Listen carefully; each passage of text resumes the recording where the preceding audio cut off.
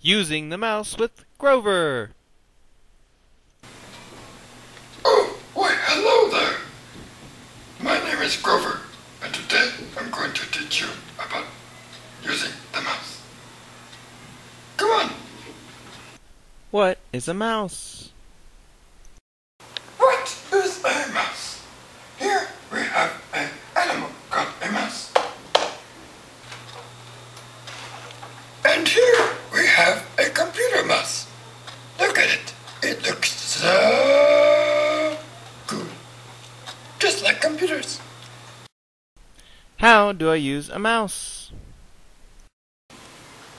This is how we use a mouse.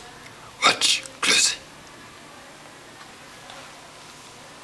I put my hand on top and my finger goes on the smiley face. Like that. Oh, how beautiful. Watch what happens when I move the mouse this way.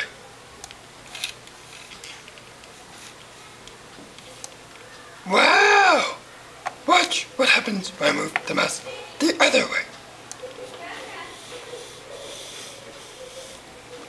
That was so cool! Watch what happens when I move the mouse very interesting. And what happens when I move the mouse down?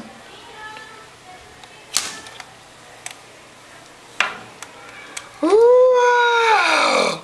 That is so cool! Can you do that too? I think so.